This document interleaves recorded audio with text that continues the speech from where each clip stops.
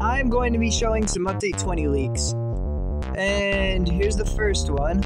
Feel free to pause the video and see all the different sword reworks and all the new map leaks like the cafe. Yeah, I can't wait for Update 20. Yeah, I mean, there's a whole lot to expect, and take a look at this. The new Pirate Village.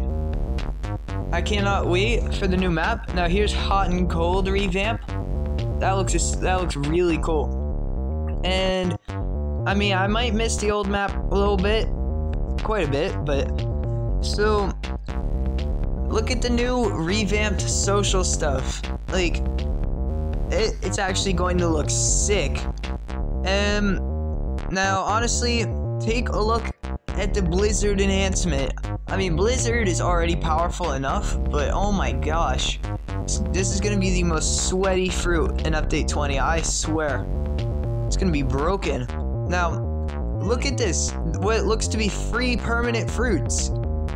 Free rewards, more than likely. So, here's going to be a look of Dragon before the rework. Here, let me just transform. Take a look at this. Look at me, I'm a dragon, bro. Um, now, here's Heatwave Beam. Look at that, it looks actually sick.